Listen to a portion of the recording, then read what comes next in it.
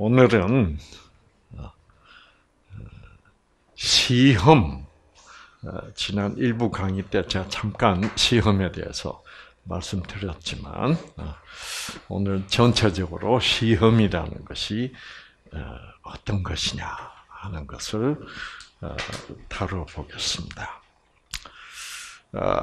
많은 그 하나님을 믿는다고 하시는 분들이 어떻게 믿냐고 하면 하나님이 우리 인간을 시험해 보신다고 생각합니다. 네. 그 시험은 뭐를 시험하는 거예요? 충성하느냐? 정말 나를 충성하느냐?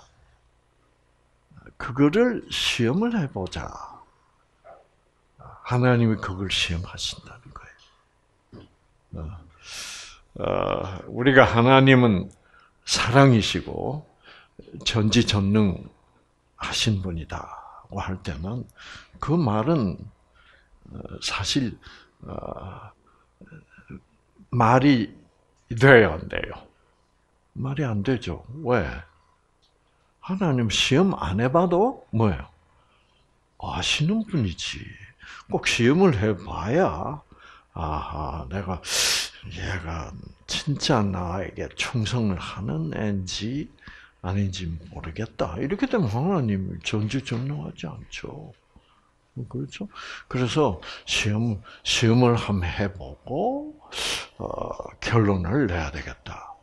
그 말이 안 되잖아요. 네, 그래서 그거는 본래부터도 말이 안 됩니다. 근데 말이 안 되는데도 불구하고 사람들이 아, 하나님은 인간을 시험하신다고 믿는 이유가 있습니다. 그 이유가 뭐냐 하면 여기 성경에 그렇게 나와 있기 때문입니다. 자, 여기 창세기 22장 보면 하나님이 아브라함을 시험하시려고. 오. 분명히 써놨잖아요. 그렇죠? 하나 누가 아브라함을 시험한다? 하나님이 아브라함을 시험. 하나님은 어, 어, 어, 하나님과 아브라함 사이는 어떤 사이예요? 하나님이 아들을 주겠다 하고 언약을 했습니다. 약속을 일방적으로. 근데 아브라함이 그거 약속을 믿었어요, 안 믿었어요? 안 믿었어요. 그래도 결국은 하나님이 그 믿지 못하는 아브라함에게 믿음을 주시고 믿게 해가지고 결국은 아들을 어떻게 주시는 분인데 그리고 하나님의 아브라함 보고 뭐예요? 그, 그 아들을 이제 그 아들이 이삭인데 그 이삭은 어, 왜 주셨어요? 이삭은 누구를 상징하는 거예요? 예수님을 상징하는 겁니다. 이삭은 진짜로 예수님을 상징하는 인간이에요. 왜? 그 어, 어, 도저히 뭐예요? 인간이 만든 아기는 아닌 거라고 밖에 볼 수가 없는 거예요. 네. 그래서 어, 왜 아담은 백살이고 아브라함은 백살이고 사례는 경수가 끊어지고 90살이고 근데 그것은 그러니까 이삭은 하나님이 만드신 거지 아브라함과 사례가 만든 것이 뭐예요? 아닌 거예요. 음, 어, 그러니까 예수님도 어, 남자 아기로 태어났지만 그것은 사람이 만든 것이 아니에요. 어, 왜 마리아는 남편하고 자본 일도 없어요. 네. 그래서 그 남편 요셉이 점점 배가 불러오니까 어떻게 했어요? 야, 내 아내가 옛날 그 유대인들의 결혼 어, 방법은 어, 약혼이라는 게 없고 정혼이라는 게 있습니다. 약혼은 뭐예요? 약혼하고 정혼하고 완전히 달라요. 약혼이라는 것은 법적 어? 법적 구속력이 있어 없어요? 없어요. 어.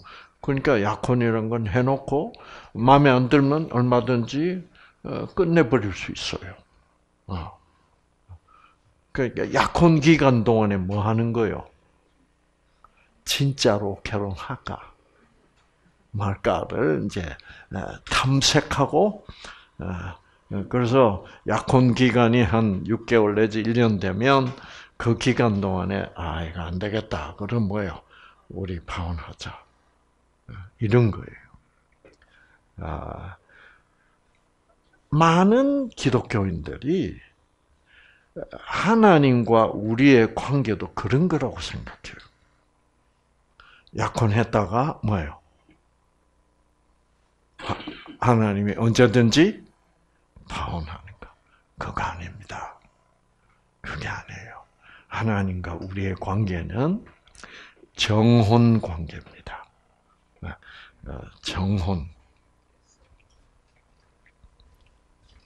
음. 정혼.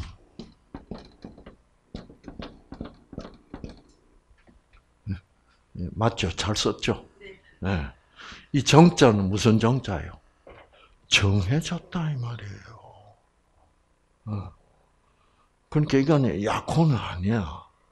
아, 정한 거야.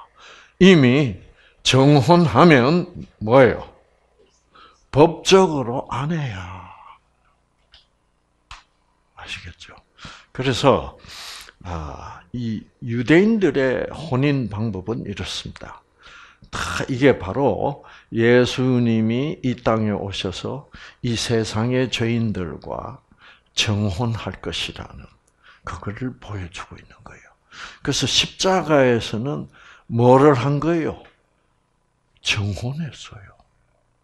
네. 정혼이라는 것은 그렇게 되면 그거는 법적으로 아내가 돼버리는 거예요.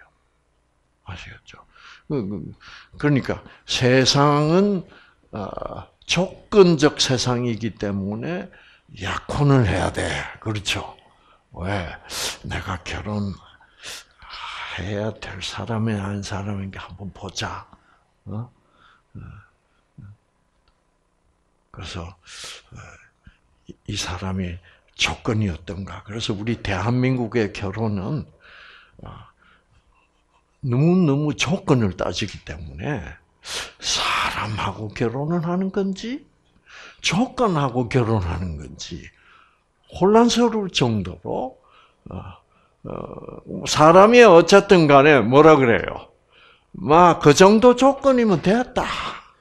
이렇게 조건하고 결혼해요 세상에. 네. 그러나 하나님이 만약 그런 식으로 우리와 결혼한다면 이는 고민이죠. 고민이죠. 우리는 그 조건을 갖출 수 있는 사람이 뭐예요? 한 사람도 없어. 하나님은 아무리 조건을 갖추지 못해도 우리를 사랑하기 때문에 우리가 지금 죄에 빠져서 죽어가고 있기 때문에 그 엄마가 물에 빠진 다섯 살짜리 딸을 조건 없이 뭐요? 예, 네, 건져내듯이 아무 조건 없이 우리를 자기의 아내로 삼아야 돼. 그것을 구원이라 그래요. 아시겠죠? 그래서 유대인들의 결혼은 어떤 거냐면 어떻게 하냐면 어, 남자가 그러니까 남자가 여자 집으로 와요. 그러면 이제 여자 집으로 와가지고 쭉 이제 얘기를 나누고 어, 시간 좀 보내다가 어떻게냐 하면 어, 포도주를 한 잔 따로요. 이 포도주는 남자는 누구를 상징하는 거예요? 신랑 예수를 상징하는 겁니다. 그래서 이미 그 어, 히브리 그 유대인들의 결혼 제도에서 이미 예수님이 와서 우리를 우리와 정혼하면서 우리를 아내로 삼아서 구원할 것이라는 것을 어, 이 각인시키기 위하여 모든 제도를 다 그런 식으로 만들어놨어요. 그러니까 유대인들의 모든 제도는 누구를 누가 오셔서 구원하실 거라는 것을 상징하는 것에 예수님이 오셔서 십자가에서 피 흘리시고 우리를 구원하실 거라는 것을 상징하는 제도이다. 그래서 그 제도로 음, 살면 그 제도 속에서 살면 모든 사람이 그래 하나님이 자기 아들 예수를 보내실 거야. 그리고 우리를 구원하실 거야. 라는 것을 절대로 잊지 않도록 그거를 제도화해 놓은. 그러니까 모든 유대인들의 그 소위 율법, 그러니까 결혼도 결혼법이에요. 결혼법이 그렇게 돼 있다고. 그래서 이제 포도주를 따르요. 그래서 예수를 상징하는 남자가 포도주를 따랐다는 건 무슨 뜻이요? 십자가에서 피 흘리셨다는 얘기. 그러니까 십자가에서 피 흘려서 자기의 생명을 죄인들에게 뭐요? 주시는 것을 상징하는 거죠. 그 예수, 그 남자가 포도주를 탁 따라서 그 잔을 여자 앞에다가 탁 놓습니다. 그건 또 뭘 상징하는 거요? 내가 당신을 위하여 피를 흘렸다. 당신을 구원할 것이다. 여자가 나이가 들면 구원을 받아야 됩니다. 그렇죠? 어, 여자가 나이가 들었는데 집에 계속 있으면 그, 그 여자가 아니잖아요. 어, 여자는 누가 가서 구원해야 돼. 남자가 가서 구원해가지고 데리고 가서 어, 살림도 살고 아기를 낳고 그래야 돼. 그래야, 그래야 여자의 진짜 삶이 시작하는 거지. 아빠하고 맨날 있으면 뭐해요. 그렇죠. 그래서 여자는 나이가 들면 집으로부터, 아버지로부터 해방돼야 돼. 그렇잖아요. 어. 어. 그래가지고, 어. 자, 그래서, 그리고 또 참 재밌는 게, 예. 유대인들은 이제 시집살이를 안 시키는 것 같아. 뭐냐면, 아, 아, 자, 제가 너무 얘기를, 어, 진도가 빨리 나가는데, 그래서 이제, 진도대로 나갑시다. 음. 아, 그래서 이제 포도주를 한 잔을 따라서 앞에 탁 놓으면, 어, 이거는 너를 구원하겠다는 뭐예요? 약속의 피다. 네, 약속의 피. 언약의 피다. 아, 자, 그거를 우리가 한번 봅시다. 아, 출애굽기 24장 여기 보면 언약의 피니다. 뭐를 가져와서 백성들에게 낭독해 들림에 예, 하나님이 발표하신 신의 산에서 모세에게 발표하신 모든 십계명과 모든 율법을 쫙 이제 모세가 설명해 가지고 어, 자 보시면 자 모세가 아, 신의 산에서 와서 여호와의 모든 말씀과 모든 율례를 백성에게 고함해. 자, 그들이 한 소리로 응답하여 가로되 여호와의 명하신 모든 말씀을 우리가 준행하리이다. 모세가 그 말씀을 여호와의 모든 말씀을 뭐 했어요? 기록해서 기록한 그거를 뭐라고 불러? 언약서, 언약의 책이라고 부릅니다. 아, 언약의 책. 아, 책으로 만들었어. 아, 아시겠죠? 그래서 그 책을 언약의 책이라고 부릅니다. 근데 이거를 또 율법책이라고도 불러. 아시겠죠? 율법책이라는 말은 어, 이게 언약책이 맞습니다.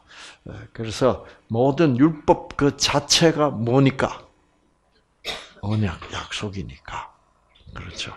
어, 음, 하나님의 모든 명령은 뭐다?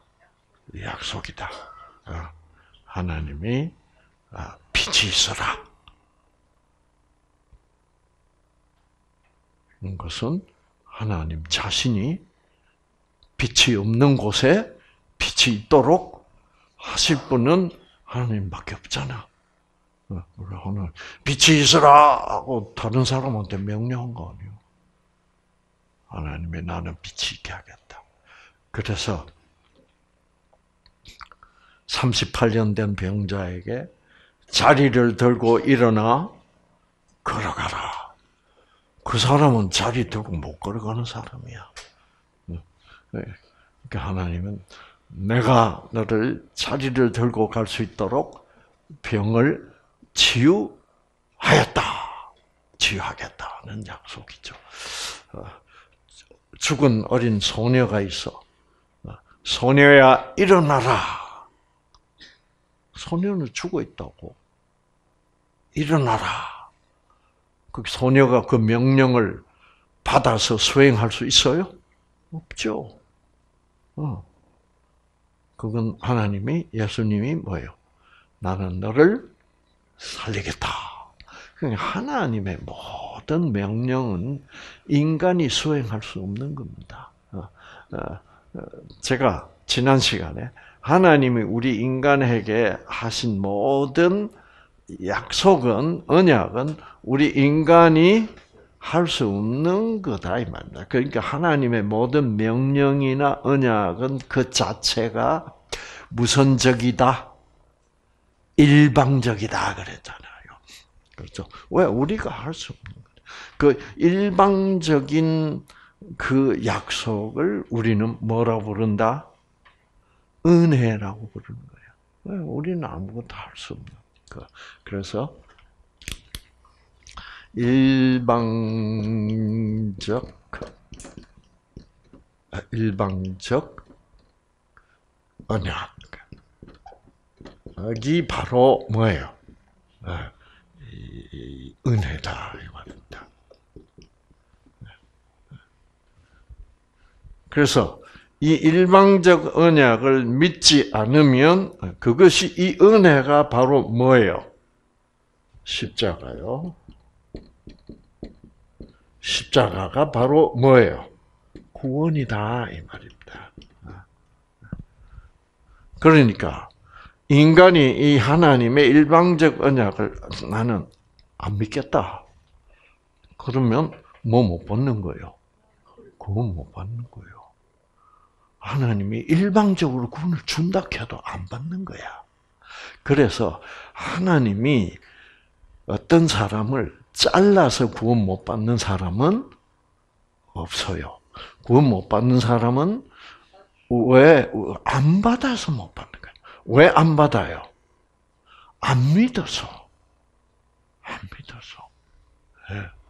아시겠죠? 그래서 여러분이 이렇게 오해하면 안 돼요. 어, 하나님은 누구를 구원할까 말까? 누가 믿음이 좋나?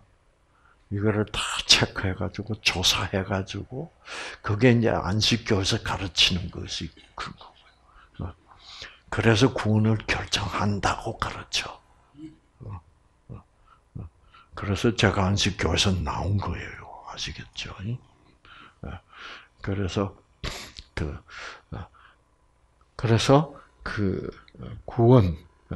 그러니까 하나 구원이란 것은 하나님의 뭐요? 일방적인 약속이다 이 말이야. 그거를 믿으면 우리는 우리는 어떻게 돼? 그걸 믿으면 우리의 마음 속에 뭐가 생기게? 와, 하나님이 나, 나 같은 놈이라도 이렇게 사랑하십니까? 그리고 기쁘고, 뭐요? 희망이 생기고, 새로운 삶을 살게 되는 거지. 예. 너희가 이 명령들을, 율법들을 잘 지키면 내가 다 조사해보고, 음, 음, 얘는 아주 잘 지켰구나. 어, 그러면 내가, 어, 하늘나라 보낼 어, 자격이 있구나. 그렇게 되면 그 언약은, 그 명령은 모든 사람에게 뭐가 돼 버려? 짐이 돼 버려. 그래 가지고 이게 무거워 가지고, 예. 아이고, 마, 하늘나라 가지 말까? 라는 생각까지도 할 수 있도록. 그것이 바로 하나님의 언약, 약속을 명령으로 오해시킨 존재가 누구요? 그게 사단이다 이 말이에요. 음, 그게 사단. 그래서 그런 아, 아, 그런 음, 그런 율법 그것이 죄의 법이라고 사도 바울은 얘기하고 또 죄와 사망의 법이라고 얘기하는 겁니다. 예, 그래서 자 그래서 언약책 예, 그리고 언약에 뭐를 보라? 피를 보라. 그래서 언약 책이 있고 언약에 피가 있는 거예요. 자, 언약 책은 내가 내 아들을 틀림없이 피 흘리게 해서 너희를 구원할 것이다. 라는 말씀이 언약책에 기록을 하고, 그렇죠? 기록이 되고. 그 다음에 이 소와 혹은 양과 염소니 이런 것을 잡아서 그 동물들은 다 누구를 상징하는 거예요? 예수님을, 죽는 예수님을 상징하는 그래서 그 피를 받았다 이 말이에요. 그 피가 언약의 피다 이 말이에요. 크, 여러분. 그러니까 하나님의 아들 예수가 이런 식으로 죽어서 피를 흘려가지고 그 피를 그래서 피를 봐라. 이 피를 보라. 이는 하나님께서 이 모든 약속, 그렇죠. 율법. 그 약속의 언약에 관하여 너희와 맺으신 뭐요? 언약이라. 이 피가 이 피, 이렇게 피 흘리겠다는 거야. 그래가지고 이 피를 어떻게 하게? 이 피를 각 사람에게 어떻게 해요? 뿌려요. 그 무엇을 의미합니까? 각 사람에게 뿌린다는 말은 그 각 사람은 죄인 아니요. 죄인은 우리가 죽은 자라 그러거든. 그러니까 피는 뭐를 뭐를 상징하는 거요? 생명을 상징하는 거예요. 그래서 하나님의 아들 예수가 흘린 피 곧 생명을 죽은 죄인에게 뿌려서 살리는 그런 약속, 그런 언약의 책이다 이 말입니다. 네. 아, 참 멋있어요. 어. 그 세상에 이런 하나님이 어디 있어? 어? 음, 하나님들은 하나님들 많아 신들 모든 신들은 뭐라 그래요? 발장 딱 끼고 이 지구상에 오지도 않아요. 내가 하늘에서 잘 주시하고 있으니까 알아서 켜. 그래가지고 나중에 심판할 거야. 이런 식으로 예수를 믿으면 안 돼. 근데 많은 사람들이 그렇게 믿어요. 불행하게도. 네. 네. 자, 하나님은 약속하시는 분입니다. 명령하시는 분이 아니야. 어? 어. 이 명령이라는 것은 어? 이네 살짜리, 다섯 살짜리 딸이 물에 빠져서 지금 강에 빠져서 떠내려가고 있는데 옆에서 엄마가 뭐라 그래? 헤엄을 치라고 헤엄을 헤엄 치는 법 가르쳐 줄까? 내가 시킨 대로 헤엄을 치면 너는 살 거고. 이런 구원이 아니다 이 말이. 아시겠죠? 음. 자, 그래서 그래서 예수님께 어, 그 이제 남자가 포도주를 따라서 다 놓으면 이게 내가 흘리는 피고 내가 너희에게 주는 뭐요 생명이다. 그거를 여자가 탁 들고 탁 마시면 그걸로서 정해져 버린 거야. 정혼이야. 그 순간부터 그래서 이제 그렇게 탁 마시면 남자가 돈이나 뭐 이런 가치 있는 거를 그 여자 아버지한테 줍니다. 그러니까 그 딸을 어떻게 산다고. 그러니까 그건 그것도 뭐를 상징하는 거예요. 예수님이 대신 피를 흘려서 사망에 속해 있는 사단에게 속해 있는 뭐예요? 죄인을 어떻게 값으로 산다 이 말이에요. 그 성경 보면 너희는 값으로 뭐요? 산 것이라. 그래서 하나님의 것이 소유가 됐다는 거예요. 왜? 하나님 값을 지불 뭐요? 했다 이 말이에요. 그래서 여러분은 지금 우리가 2000년 전에 있었던 십자가를 뒤돌아보고 하, 나는 그것을 받아들인다 하면 여러분은 이미 값으로 뭐예요? 값으로 지불되고 하나님께서 여러분을 사신 하나님의 자녀가 되어 있다 이 말이에요. 음. 이거, 이거 솔직히 얼마나 황당한 소리요. 그렇죠? 황당하기 때문에 뭐 없으면 못 믿는다? 성령이 역사하지 않으면 믿을 수가 없어요. 어. 그 저도 어떤 때는 내가 이런 소리를 하고 있다는 자체가 자식이 미쳤나. 어. 그, 그, 그 말은 뭐예요? 악령이 들면 어? 35kg밖에 안, 나오, 안 나가는 여자가 86kg라고 뭐요? 믿는 거나 마찬가지다 이 말입니다. 그래서 그 영이 역사해야 그 하나님이 말씀하시는 그 자체가 우리에게 현실로 느껴진다 이 말이야. 네. 음. 그래서 음. 그러면 이제 어떻게 되냐면 그래서 이제 돈, 그, 주고 사요. 사고, 그 다음에는 남자는 떠나야 됩니다. 네, 어디로 가냐 하면, 자기 아버지 집으로 바로 가요. 어, 가서, 뭐 하러 가느냐? 집 지으러 가요.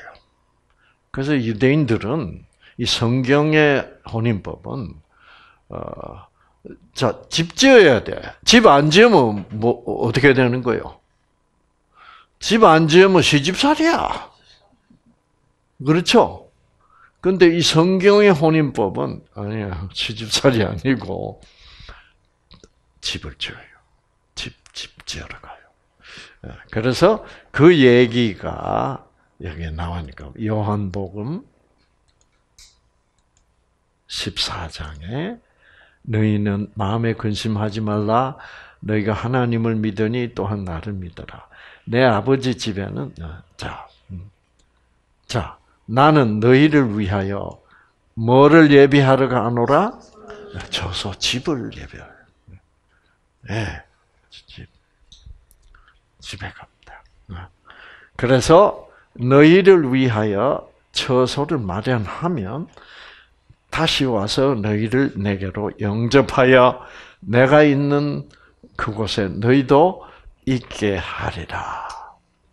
이미 마누라가 됐다 이 말이에요. 그러니까 마누라를 위해서 마누라하고 아내와 같이 살 집을 지으러 간다는 거지.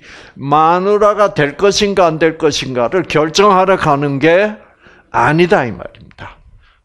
안식일 교회에서 가르치는 그 것은 이, 이 요한복음 14장하고 완전히 배치돼요. 어? 어, 어, 그 뭐냐면, 어, 예수님이 십자가에서 어, 죽으시고 3일 후에 부활하셔서 올라가신 것은 뭐 하러 가셨다? 예. 네. 뭐 하러 가셨다면 우리가 예수님의 아내가 될 것인가 안 되신가를 최종 뭐 하러 가셔서 최종 결정하러 가셨다. 이렇게 가르칩니다. 그러니까 십자가에서 결정된 게 아니다. 이거는 아주 큰 문제입니다. 아시겠죠? 그래서 안식일 교인들 마음속에는 구원의 확신이 있을 수 있어요, 없어요? 없어요. 없고 항상 예수님이 지금 내 구원을 결정하고 있다고. 얼마나 불안해. 그러니까 착하게 살아라. 이, 그, 이 가르침이야. 제가 여러분들에게 성경을 가르치는 목적은 뭐냐면, 그게 아니고, 이미 내가 포도주를, 어, 그 남자가 따로준 포도주를 한 잔 마셨기 때문에, 그것은 나는, 어, 나는 당신이 내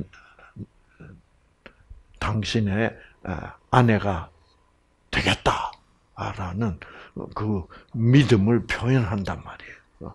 그러면 그래가지고 자 남편이 다시 올 때까지 하늘에 가서 처소를 예배하고 다시 올 때까지 조마조마 불안하게 살아란 말입니까? 믿음을 가지고 기쁘게 감사하며 살아란 말입니까? 예, 그게, 그게, 그것이 확 다르다, 이 말이에요. 예. 그러니까, 아, 예. 그러니까 안식교에서는 우리는 아직도 그의 아내가 되지를 뭐요? 않았다고 가르치는 거요. 그거는 이 혼인법과 다르다. 그러니까 유대인들의 혼인법은 그래서 보세요 예수님이 나는 너희의 처소를 예비하러 갔다 이거야. 어? 어. 그래서 처소 예비되면 어떻게? 누구를 위한 처소? 어, 너희를 위한 처소가 예비되면 어, 나 이거 와서 데려가서 거기 가서 최종 뭐를 한다? 최종 혼인 혼인 잔치를 해요. 자, 이제 신부가, 아내가 돌아와. 어, 어, 신랑 집으로 뭐요? 마침내 와다. 그러니까, 어, 근데, 안식교에서는 지금 예수님이 가가지고 다 지금 조사하고 있는 거예요. 오연숙이가 진짜, 진짜 착하게 잘 사고 있는지. 그래가지고 아, 아, 정말 이 성품이 한 점의 흠도 없고 점도 없이 됐는가 안 됐는가. 모든 죄를 다 회개를 뭐요? 했는지 안 했는지. 아, 이거는 예, 예. 그럼 오해숙이 지금부터 어떻게 살아야 돼? 예. 그래서 이제 그, 그, 안식일 교인 분들은 그런 게 없으면 막 산다는 거요. 그러니까 이상구 박사가 지금 가르치는 것은 여러분들은 이미 아내가 뭐예요? 되었다 그러면 막 산다는 거라. 여러분 여기 막 살 사람 손 한번 들어보세요. 그렇게 됐다면 더 힘나 안 나? 더 힘나는 거지. 나 같은 이 부족한 거를 이미 아내로 삼아 주셨다고 그러면 감사하고 기쁘고 그래서 그 것을 믿은 후에 삶은 새로운 삶 달라지는 거야. 그런데 그렇게 가르치면 막 산다는 말은 그 무슨 말입니까? 그렇게 해도 기쁘지 않다는 얘기야. 그렇잖아요. 그게 기쁘고 감사하면 절대로 막 살지 않습니다. 근데 그 사람들이 그렇게 되면 막 산다고 하는 말은 아이고 그 포도주 한 잔 탁 받아서 음, 마시면 아무것도 안 해도 뭐요? 믿음으로 하나님의 아내가 예수님의 아내가 되는 것이다. 라는 것이 왜 안 기쁠까? 그참 이상해. 왜 안 기쁜지 아세요? 성령이 없어서 그런 거야. 그것이 기뻐지려면 그것이 믿어져야 돼. 그것이 믿어지면 성령이 음, 성령이 그것을 믿어지도록 믿음이라는 선물을 주시는 겁니다. 아시겠죠? 어. 안식일 교인들이 지금 저보고 자꾸 이런 불평을 해요. 박사님, 뉴스타트 강의 때 안식일 교회에서 뭐가 틀린지 얘기 좀 하지 말래. 안식일 교회를 비판하지 말래.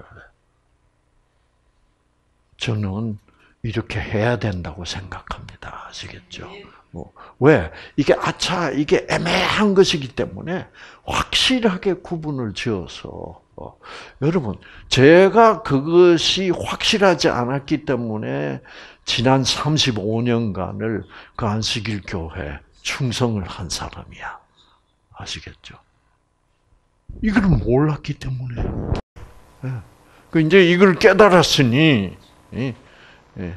다시는 이것을 헷갈려 가지고 어? 그런 것에 속하면 뭐요? 속하면 얼마나 억울해요. 네. 아시겠어? 네. 저는 여러모로 제가 안식일 교회 들어가서 아, 아, 들어갔기 때문에 뉴스타트를 하게 됐다는 건 이건 정말 대박이요. 예, 네, 아시겠죠? 네. 그러나 그러나 그 그래서 저는 안식일 교회 안에서도 옛날부터 이런 조사 심판이라는 가르침이 없는 줄 알고 어, 막 여러분은 구원 받았다. 그래서 그 어, 제가 가면 제일 이제 그 찬송을 뭘 무슨 찬송을 부르겠냐. 어. 그럴 때 제가 제일 좋아한 게 네, 이 redeemed라는 찬송입니다. redeem이라는 말은 구원받은, 구속받은이란 뜻이에요. 어, 왜 여기에 ed, redeemed. 어, redeem은 구속이고 ed가 붙으면 구속을 이미 뭐요? 받은. 어. 그저 보고 찬송가 하나 불러라 그러면 저는 이거 불렀어요. 어. 왜 이걸 불러야만? 이게 한국말 가사가 양 문제가 있어요. 어. 그래서 이게 예, 제목도 redeemed고, 어. 예. 그래서 이제 이게 영어로 하면 뭐냐면 어. redeemed, redeemed, redeemed by blood of the blood of the lamb. 그러니까 그 뭐냐? 어린 양의 피로 redeemed 구속을 받은 우리는 어린 양이 십자가에서 피 흘리심으로 구속을 받은 자들이란 노래야. redeemed, redeemed, redeemed by the uh, uh, uh, redeemed. Uh, uh.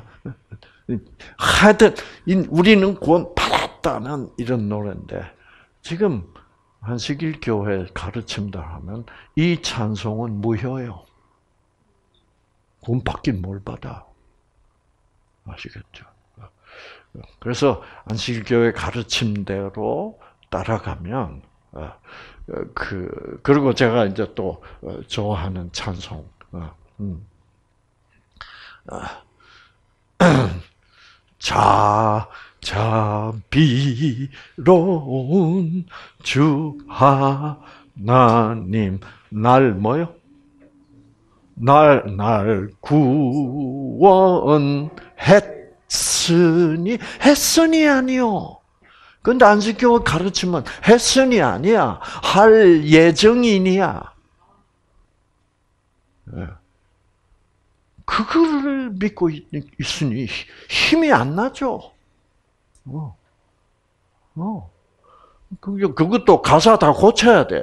자비로운 주 하나님, 날, 어, 날 심판하고 계시니. 뭐, 뭐, 이렇게 가사를 바꿔야지. 날 구원했으니. 이라고는 말할 수 없는 거예요.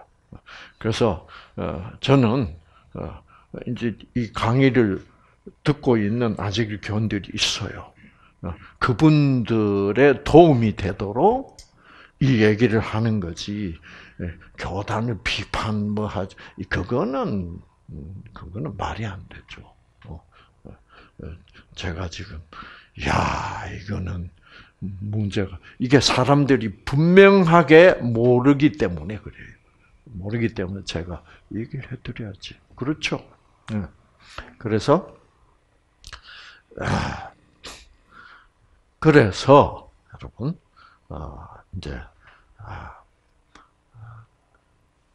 이미 십자가의 피로 여러분은 어, 구원을 하나님의 자녀가 되어 있는 것이다 이 말이에요. 그런데 안 그태 이게 이제 문제라. 이게 진짜 같으면 힘 나까 안 나까? 아, 진짜 같으면, 진짜 같으면요, 에이, 암 안 낳고 죽어도 뭐예요? 뭐 괜찮네. 탁 이렇게 될 거요. 그렇잖아요. 왜? 이왕 뭐 이미 구원 받아가지고 나는 하나 하늘나라에 가도록 딱 뭐요? 결정이 되어 있다는 것을 믿으면 암이 더 잘 낫는다 이거야. 아시겠죠? 네. 네. 훨씬 유전자 더 잘 켜지죠. 예. 이런 거다 이 말이에요. 자, 그래서 여러분, 자 그렇기 때문에 예. 지금 자 하나님이 아브라함을 시험해 보시려고 하는 말은 말도 뭐요? 안 된다 이 말이에요. 그렇죠? 어. 자, 또, 또 우리가 신약 성경에 봐도, 응? 봐도, 야고보서 1장에 누구든지 시험을 받을 때 나는 하나님께 시험을 받는다고 말하지 뭐요? 말라 이 말이에요. 뭐 이 신약을 쓴 야고보라는 예수님의 제자 사도가 창세기 22장 안 읽어봤겠어요? 어. 그렇죠? 그러면 창세기 2장 22절 아, 1절에 하나님의 아브라함을 시험하시려고 한 말을 왜 이 야고보는 아, 아, 아니다. 라고 얘기하고 있는 거거든요. 자, 시험을 받는다고 말하지 말지니 하나님께서는 악으로 시험을 당하지도 아니하시고 자 하나님은 시험을 뭐요? 당하지도 아니하시고 또 또 그분 그분 자신이 아무도 뭐요? 시험하시지 않기 때문이다. 그러면 창세기 22장 무슨 소리요?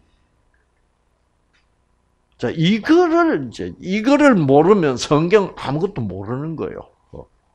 그리고 여기 보시면 마태복음 4장에 자, 예수님이 예수님이 사단이 예수님을 시험했어 안 했어? 했어요. 예수님이 그 시험을 받아서 안 받았어? 아, 맞습니다. 시험 당하질 않았어. 그러니까 하나님은 악에게 사단에게 시험을 당하지 않는다 말이야. 사단은 예수를 시험을 해도 아시겠죠? 그래서 예수께서 보면 시험을 마귀에게 사단에게 시험을 받으시려고 그래서 이 마귀가 예수를 시험하는 자입니다. 그렇죠? 그 시험하는 자가 예수께 나와 가로되 예, 네가 만일 하나님의 아들이었던 이 돌이 떡덩이가 되가라 라는 시험을 하는 거야. 아시겠죠? 그 누가 시험하는 자요? 사단이요. 그러면 성경적으로 볼 때 분명히 예, 시험을 인간을 시험하는 자는 마귀요. 근데 왜, 왜 이랬어요? 왜 창, 창세기 22장 1절은 왜 하나님이 자, 하나님이 아브라함을 시험하시려고 왜 그 이렇게 표현해요?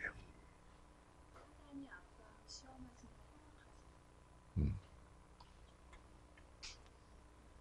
자, 지난번에 여러분 이런 얘기가 잠깐 나왔습니다. 창세기 3장 배울 때 하나님이 여자가 어? 잉태 고통을 줬다 그랬잖아요. 그거 하나님이 준 게 뭐예요? 아니잖아. 그러면 왜 성경은 하나님은 자기가 준 게 아닌 것을 자기가 줬다고 그럴까? 그때 우리가 설명했잖아. 아, 결국은 여자가 죄를 짓고 나서 잉태 고통을 받는 것은 그 죄의 결과로 그렇죠? 죄의 결과로 뭐가 변질됐기 때문이요. 유전자가 변질됐기 때문에 고통이 오는 거지. 하나님이 죄를 지었으니까 고통스럽게 해가지고 벌 준 것이 아니다 이거야. 그러면 자 그것도 그렇고 여러분 여기 보세요. 여기 보시면 사울 왕, 이스라엘 왕의 제 1대 왕이죠. 사울 왕이 팔레스타인하고 전쟁을 합니다.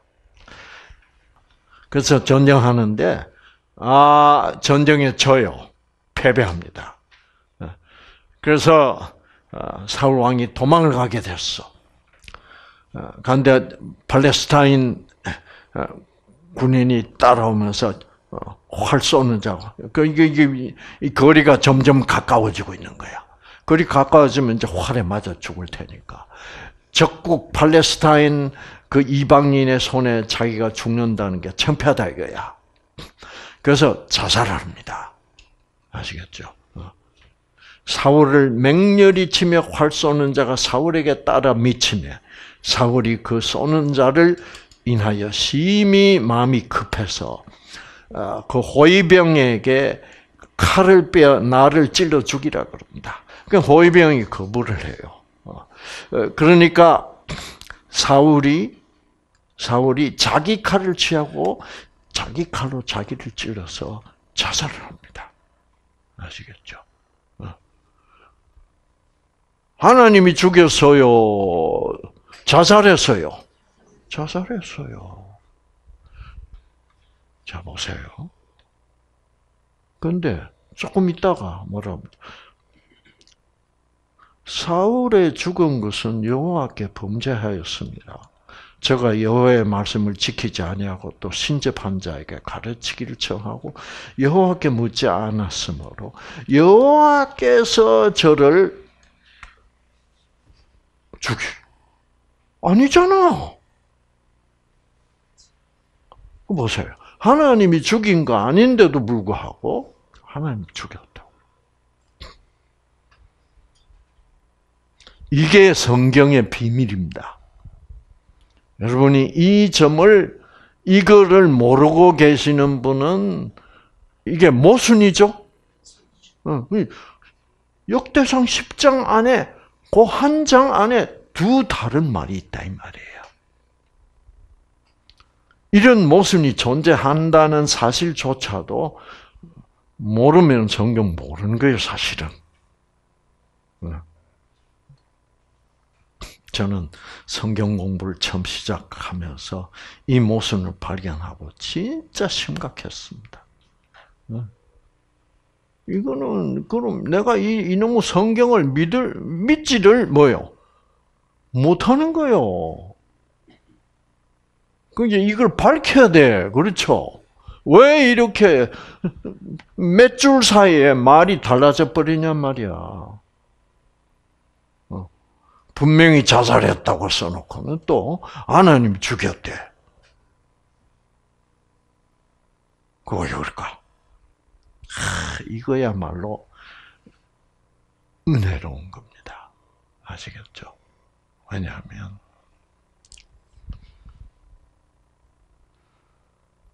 하나님이 죽인 게 아니잖아요. 어. 사울이 하나님을 떠나버려서 말 안 들었어. 하나님이 아무리 어떻게 하라고도 안 해. 그럼 하나님은 사울을 보호하려고 했는데 하나님의 보호를 뭐요? 거절했으니까 죽은 거야. 그렇죠? 그 지가 또 자살해버려. 자살하는 마음은 무슨 마음이요? 누가 준 마음입니까? 사단이 준 마음이지. 네. 자, 그리고 그래서 사울이 자기가 자기를 죽였는데 여호와께서 죽였다는 말은 그런 사울의 자살도 누가 죽인 걸로 하겠다? 내가 죽인 걸로. 왜? 걔도 결국 내가 이 지구상에 뭐예요? 창조해서 내가 돌보다가 돌보다가 내가 좀 잘 이끌려고 그래도 내가 못했으니 그거는 결국 누구 잘못이다? 하나님 잘못이다. 이런 뜻입니다. 아시죠? 내가 죽였다. 어. 그러니까 여러분 이거를 잘 이해를 하셔야 돼요. 이거를 좀 제가 잘 설명을 하기 위해서 참 고민을 하고 있었어요. 기도하면서 그러다가 어느 날 아주 좋은 사건이 터졌어.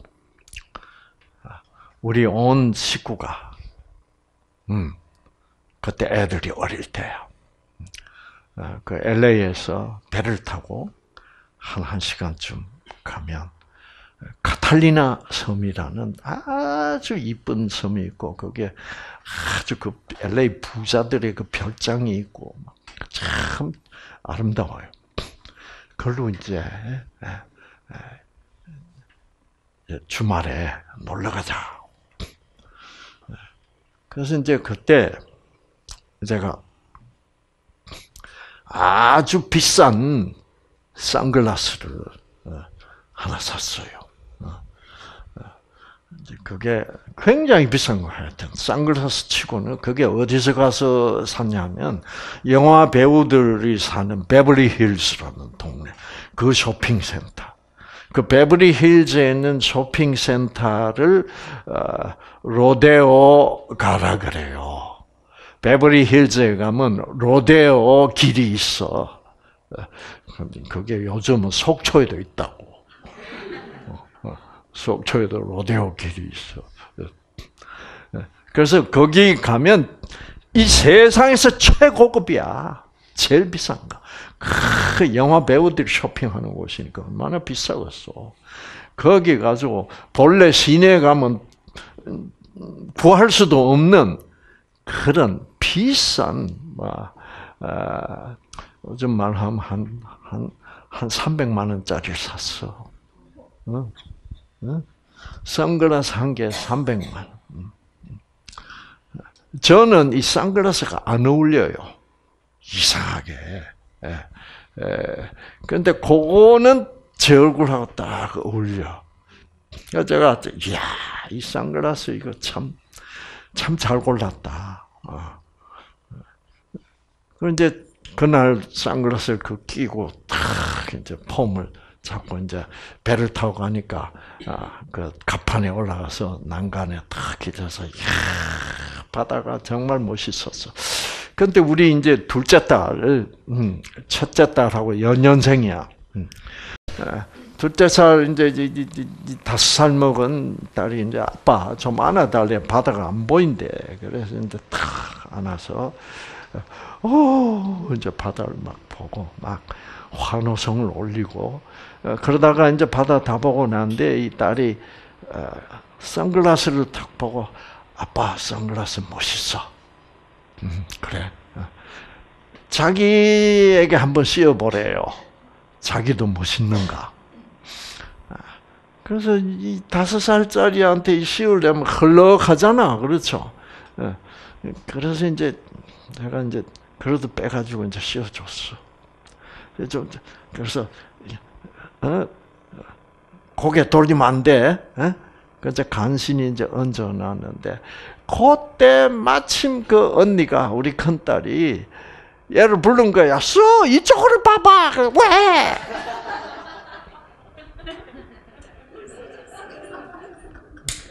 바다 속으로 선글라스 들었어. 300만 원 날라갔어. 얘가 말이에요.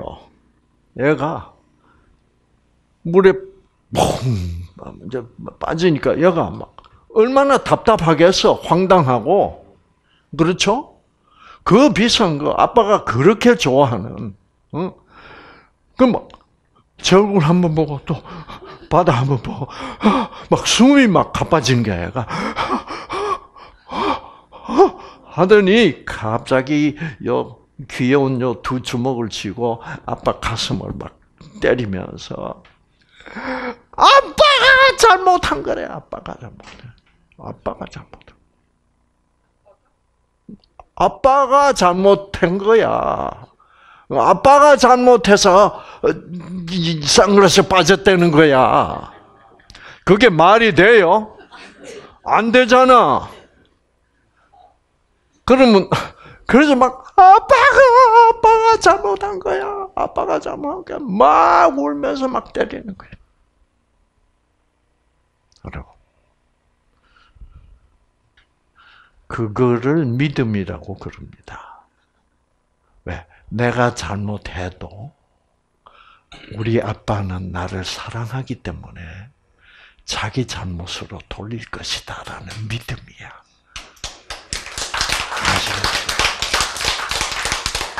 이것이 우리 예수 믿는 믿음입니다. 아시겠죠?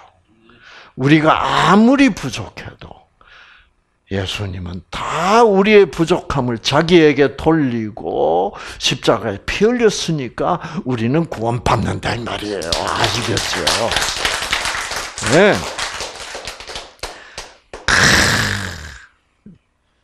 그러면 이 아빠가 어떻게 해야 돼요? 그 딸을 진짜 사랑한다면 어떻게 해야 돼? 아빠가 잘못 맞다. 아빠 잘못이라고 해야지. 성경이 사울이 지가 말 안 듣고 자살한 것도 하나님이 뭐예요? 자기 잘못으로 하겠다는 얘기야. 아시겠죠? 그래서 하나님이 네. 그래서 이 선지자들이 이 글을 쓸 때는 하나님은 그렇게 말씀하시는 분이다라고 믿음으로 이렇게 쓴 거다 이 말이에요. 어? 그래야 성경이 그래야 나중에 십자가가 설명이 되잖아. 그렇죠? 어. 그런데 제가요 이 아빠가 어? 그딸 보고 네가 고개 돌리다가 네가 빠뜨린 거지 왜 아빠가 잘못한 거야? 이렇게 되면 그 아빠는 멋대가리 있어 없어? 하나도 멋대가리 없어. 그런 아빠는 뭐야? 꼰대야. 그렇죠? 그 그건 뭐예요? 뭐가 없는 아빠요? 사랑이 없는 아빠예요. 하나님은 사랑이시기 때문에 이렇게 기록하시는 분이다 이 말이야. 그래서 저는 이렇게 기록된 성경이 여러 군데 있습니다. 제가 다 찾아서 어, 조사를 해봤어요. 여러 군데 있어요. 나중에 시간 나면 말씀드리겠지만 여러 군데 있는데 이런 표현을 저는 이거는 이성적으로 따지는 따지면 말이 안 되는 표현이요. 그러니까 이성적인 표현은 아니야. 모선적으로 따지면 말이 돼. 감성적으로. 네, 사랑으로, 사랑을 넣어서 해석하면 진짜 아름다운 하나님의 사랑이 나타나는 표현이다. 그래서 저는 하나님의 감성적 표현이다. 아죠? 감성적 표현. 그래서 성, 하나님은 사랑이십니다. 사랑은 이성적이기도 합니다. 그러나 이성적이지만 아니에요. 사랑은 이성적인 적인 면도 물론 있지만은 충분히 감성적입니다. 그렇죠. 그래서 이런 표현은 하나님의 사랑의 감성적 표현이다. 라고 제가 결론을 내린 겁니다. 아시겠죠? 그래서 하나님에게 감성이 없다면, 이 사랑이 없다면, 이성적으로 따지기만 한다면, 우리는 가망 있어 없어? 가망 없습니다. 우리는 그래서 이렇게 성경은 하나님의 사랑을 이런 식으로도 표현하는 거예요. 그래서 나중에 읽는 사람들이 이거 말도 안 되잖아. 이렇게 되면 그 사람은 무선적으로 성경을 읽는 거예요. 이성적으로만 읽는 거야.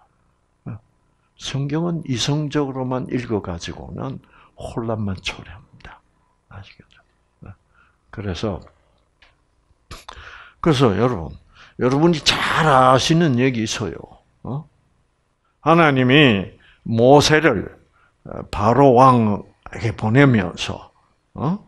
어? 바로 왕에게 에집트 왕 바로 왕에게 이스라엘 백성을 보내라 캐라 해방시키라 캐라.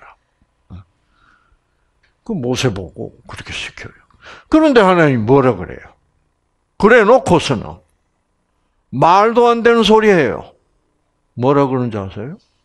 그런데 바로가 바로 왕이 네말안 들을 거다. 왜 안 들어? 안 듣는 이유가 뭐라고? 내가 하나님이 말 안 듣도록 했으니까 말 안 듣고. 세상에 그런 정신 나간 소리 어디 있어요? 그건, 그건, 그거는 정신분열증 환자들이 하는 말. 그렇죠? 모세 보고 어? 자, 네 백성 이스라엘 백성을 해방시키라.